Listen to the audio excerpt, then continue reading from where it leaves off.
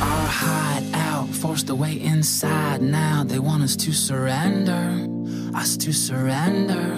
But I could go all night right here between their crossfire. We'll send them up on that.